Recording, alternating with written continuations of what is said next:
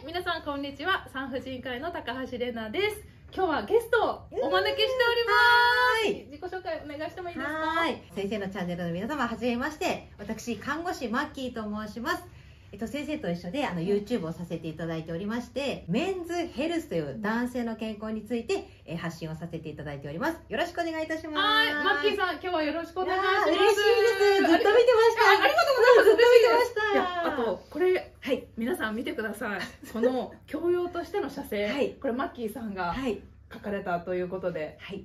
目から血を流しながら頑張って書きました。ね。マッキーさんはもともと小児科と泌尿器科の看護師さんはい。でもあったんですよね。はい、小児科が10年で、はいその間にえ泌尿器科が6年の経験をもとに、あの最初あの男の子の性教育がなかなかなくて、うん私自身も子供が男の子いるので苦戦したっていうところから、あれ世の中の50歳近くの男性意外と性教育学んでないじゃんっていうところから、まあ正しい知識を知っていただくっていうものに、ははいい本として書かせていただきました。ありがとうございます。はい。私もこれ読ませていただいたんですけれども、ドキはい。やなんか語りかけ口調で来てくれるじゃないですか。はい。女の私が読んでても、えー、そうなんだとか、あすごい頑張ろうみたいな、なんかちょっと人生観とかも若干書かれてたりしてますよね。そうですそのね生活に関することとか、はい。すごい面白かったので、はい。ぜひ皆さん読んでみてください。ありがとうございます。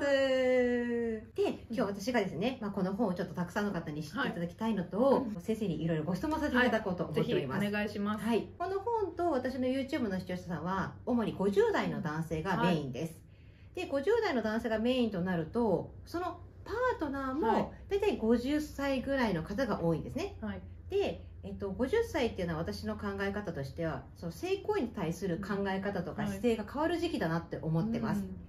でご主人が奥様と一緒に性行為をと思った時に奥様がまあ体が不調でできない、あとまあ性交痛があるとか。で男性はじゃあどうしたらいいんだろう。僕は何もできないから放っておくとか良かれと思って言ったのにいらないって言われてうん。シュンとなっちゃう方がいらっしゃるので、はい。先生が普段産婦人科の診察をしていて診療していて来る女性のまあ年齢層だったりお悩みとか、あとご主人には言えないけど先生に言えることってたくさんあると思うので、まあ、男性方にそういったところを知っていただきたいと思っているのでそのあたりについて教えてください、はい、ありよろしくおがとうござ願いしいまます私がうん今まで勤めてた、まあ、大学病院とかクリニックとかはやっぱりもう年齢層が本当に様々、うん。10代の本当に生理始まったばっかりの子もい。れば、80代とか100歳ぐらいの方までうん。もうたくさんはい。幅広く見てきてたんですけど、まあ私産婦人科医になって15年1415年経つんですけれども、昔に比べると性交痛とか、はい。性行為のお悩みとかそのセックスレスとかに関するお悩みをご相談してくださることがすごく多いなって思っていてあ増えたんですね。増えました。明らかに増えたな、まあ、自分がそういう発信をしてるっていうのもあるかなと思うんですけど、はい。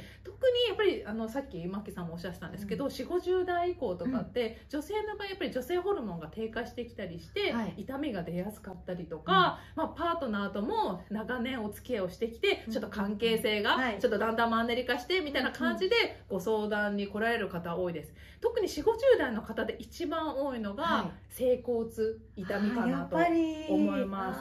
はい、で例えば20代30代とかでの性交痛って、うん。まだ性交経験が少なくって、初めて性行為したんだけど痛くってその後なかなかできないっていう方は多いのかなと思うんですけど、はい。4 5 0代でご相談にいらっしゃる方の多くは、性行為をしてて普通にできてたんだけど、ある時からだんだん少なくなってきて久しぶりにしたらすごい痛かったとかそういう方が多いですね。挿入の時の痛み摩擦の痛みをご相談される方が多いです。あー。うんじゃああの私のところでこうご質問者さんで性交痛がってくるのと、すごくマッチしているなと思いました。そうですね。としてはあの妻が痛くてパートナーが痛くて、あーはい。で回数が減ったっていうところをいただいていたので、はい。あの先生のところで診察が増えるのとうん。マッチしているなと思いました、ですね。あとは、はい。その旦は求めてくるんだけど、うんうん自分はあんまり性欲がない。とか、あとはまあはい性交痛があってなんとか答えてあげたいんだけど、はい。どうしてもできないけどどうしたらいいですかっていう方が多いんですけど、まず、まあ、その5年で、まあ、4 5 0代以降、まあ、更年期から閉経にかけてで一番考えられるのが、うん。やっぱり女性ホルモンの減少なんですよね。はい。女性ホルモンって水分を保持したりとか、皮膚を保ったりするのに大事な、うん。大事大事。ホルモンなので 20代の時の膣とかってやっぱりふっくらしてて、はい。みみずしいんですけど、やっぱり50代60代70代になってくるとだんだんしわしわになってきたりして、はい。濡れづらくなってきたりしますし、粘膜も薄くて弱くなってきてちょっとしたことで出血しやすくなっちゃったりとか。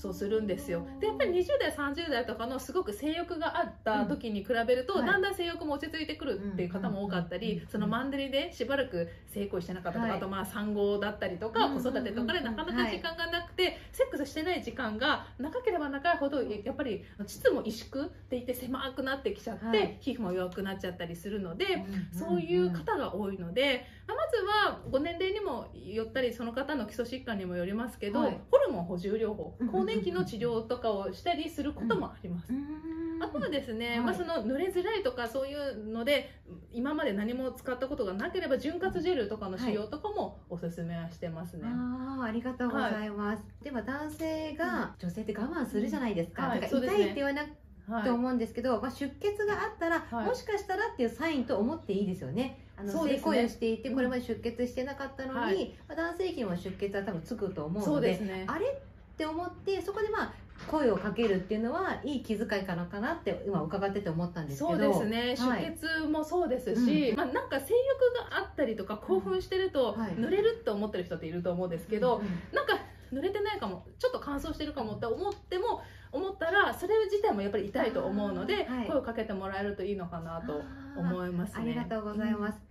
あの長く連れ添ってる方であればこの変化も、うん。まあ、あの見えると思うので、出血があったりあれなんかいつもよりそのあの潤滑が良くないなと思ったら、うん。まあ、声をかけたりあの、はい。やめるってことも選択肢として男性に持ってたらいいのかなってね、はい、思いそう思いました。あとあのホルモン補充療法だったりその潤滑っていうのを先生が患者様にご提案をして、なかなか「はいわかりました」とならないと思うんですよね。ないですね。はい、うん。なんでそういった方には順番にこう話をして納得をしてっていうことが多いんですか、そうですね、はい。でホルモン補充療法もじゃあやったから次の日からすぐに性行為ができるようになるっていうとそういうわけじゃなくてやっぱり1ヶ月2ヶ月続けていってはい良くなってくるってことが多いんですよね、であと潤滑ジェルも濡れないってことだけが原因だったらはい。良かったりするんですけども、はい。本当に粘膜が萎縮してたりとか膣が狭くなってるとジェル剤を使ってもやっぱり広がったりするのに痛かったりはするので、私がおすすめしてるのは、はい。まあ、膣のマッサージとかをしてくださいっていうふうにおすすめしてるんですね、はい。こう妊婦さんとかってはい。出産する前に遠切開とか防いだりする前にッサージとかはい。こうやったりする方もいらっしゃるじゃないですか、うんうんうんあれって皮膚を伸ばしたり柔軟性を高めたりするのに大事だったりするんですけれども、しばらくやっぱり性行為してない人とかも、あのやっぱり性行為をじゃあ週3回必ずやってくださいっていう宿題出しても、なかなか難しいと思うんですよ。そう確かに出して難しいと思うんで、はい。しかも相手が必要じゃないですか。ね。相手の忙しさとかもよると思うんですけど、もしセックスをしなかったとしても、できればまずはお風呂上がりとか体が温まってリラックスしてる時に、うんまあ、指とかを膣の中に入れて、うん。こう穴があるとしてこっちがお尻側すると、うん。こうやってあのマッサージしたり、うん。ちょっと引き伸ばすみたいなマッサージをしたり、はい。指を入れるのがもし最初が抵抗ある方であれば、はい。もうなんか保湿剤とか何でもボディクリームでもいいんですけどこう栄陰そのはい。膣の周りとかに塗ったりしてうん少しマッサージをしたりするとまず結構性交痛がある方って、はい。そもそも自分の体をとか膣を触るのにすごい抵抗があるとかちょっと痛いものデリケートなものみたいな感じで触るのに抵抗が出ちゃってる人も多いので、はいうんまずは触ったり見ることに慣れましょうっていうお話を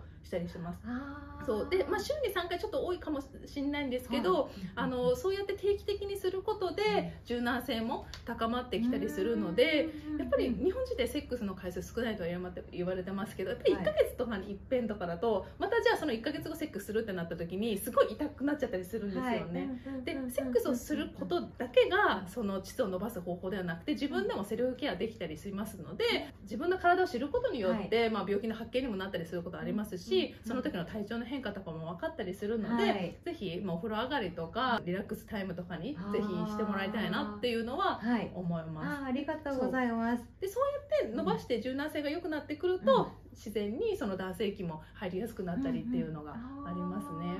あのホルモン剤とかだったら結構ハードルが高いと思うんですけど、今かなり下まで落としていただけたので、ですね。はい。であの指を入れるの多分抵抗ある方多いと思うんですけど、まあ、ネイルとかしてる方もいるとあまあそう思うんで,、ですね。あのクリームでねこうはいやるっていうのは、確かに出産の前に、あの妊婦の検診じゃない、お母さん教室お父さん教室の時に大切ですからねっていうのは確かに教えてはいるので、はい。そんなに特殊なことでもないですし、はい。大切なことだなって思いました。そうですね、はい。でセックスのためだけっていうだけではなく、うんうん女性の場合小陰唇っていうビラビラがこう、はい膣の周りについてると思うんですけど、女性ホルモンが少なくなって、でしかも全く性行為をしてない状態がもう10年20年何十年も続いてると、はい。小陰唇がピタッとくっついて小陰唇癒着っていう状態になって本当に最悪の状態おしっこが出てこなくなっちゃったりすることがあるんですよ。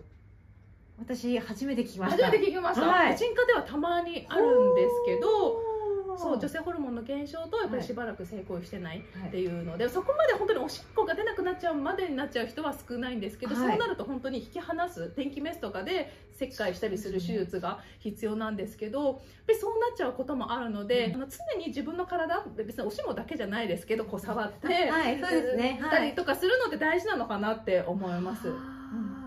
そうですね、はい。多分今お話をした中で、あの男性も初めて聞くところいっぱいあったと思うんですよね。なんであのその女性がなかなかこう自分で見れないけれど、うん。パートナーの方とはまあ性行為をするからまあ見せられるっていう人がいたら、はい。まあそのパートナーの方も、まあ、マッサージしましょうと、まあうん。そこのね下着の中だけじゃなくって、まあ、体のマッサージかはい。ら大切だからっていうのも、まあ、徐々に徐々に段階を踏んでいくと、あの女女性の体を男性がメンテナンスできるのかなっていうふそうですねはい思いました。それこそ今はい私セルフケアとしてお話ししたんですけど、男性も挿入することだけがセックスっていうふうに思わずに、うんそれこそマッサージしてあげるだけでもはいいいじゃないですか。そうですでね。そういうところからコミュニケーションをしていって、まあ、だんだん挿入できるようになればいいなっていう長期的な目で見てほしいなって思います。そうですね。マッサージは多分はい。皆さんもされて気持ちいいですし、自分がして相手が喜んでるの嬉しいじゃないですか、なんで断られたりとか整骨があるからもう無理だじゃなくって、まあ、話をしたりじゃあはい。疲れてるかマッサージ。で,、徐々に徐々に、まあ、その整骨がある部位に、まあ、移行していけたらってい長期的な感じで考えていただければいいですかね。そうですねはい、わかりました。、はいや私でも初めて聞く内容だったんです。すあごい勉強になりました。ありがとうございました気をつけて触ります。はい、よろしくお願いします。はい本日はマッキーさん、ありがとうございました。ぜひこちらの方もですね、はい皆さんお読みになってみてください。はいよろしくお願いしますたマッキーさんも YouTube チャンネルされてますので、はいぜひチャンネル登録して視聴してみてください。ありがとうございました。はいありがとうございました。